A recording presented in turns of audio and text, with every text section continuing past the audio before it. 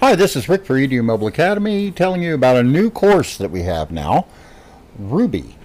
This is a basic introductory course for the Ruby programming language and its syntax. This is not a course on Ruby on Rails. I am working on a course on Ruby on Rails. This is a course for a programmer that wants to learn how to use Ruby to do anything that Ruby can do. And Ruby can do a lot of things. We can use Ruby on Rails with the internet as a glue language. We can use Ruby to create GUI applications. We can simply use Ruby at the command line.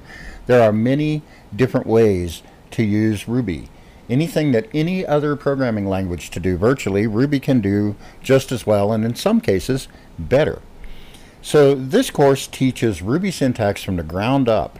We assume that you know a little bit about object-oriented programming and maybe have worked with another programming language such as C or Java, but that's not really as important because Ruby syntax is completely different than anything that you're probably already familiar with.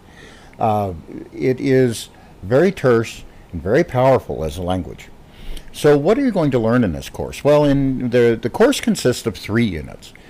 And in Unit 1, we're going to have an introduction, of course. We're going to talk about getting Ruby. You might already have Ruby on your system and not even know about it.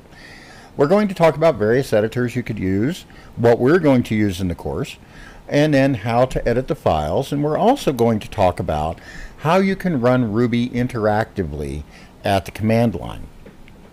And then we're going to dive right into the syntax of the language with identifiers, variables, and constants. We'll talk about if and else and end if and that kind of thing. Uh, we'll talk about loops and also some modifiers that we can have. Uh, if modifiers and unless statement modifiers and also things like special symbols that we use with variables uh, and also modifiers that we can have on loops. So that is unit one. Unit two, we start talking about data constructs. We'll talk about arrays and hashes. And then we'll talk about methods. And it might seem kind of strange to talk about methods before we really get to classes, but really everything in Ruby is an object. So every function that you would think of it in another language, we think of as a method in Ruby because it is. It is a method of some class that we're working in.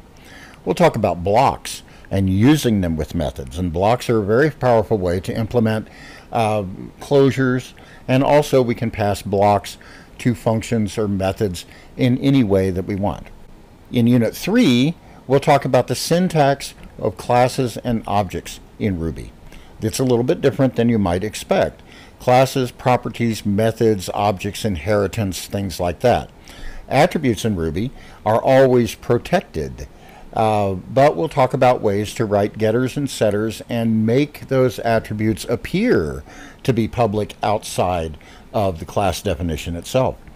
We'll talk about inheritance and how that's implemented in Ruby. It's actually very simple.